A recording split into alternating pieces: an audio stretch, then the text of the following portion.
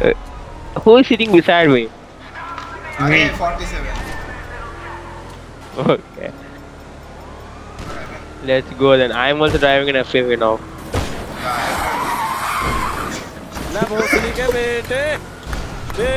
What the hell is this?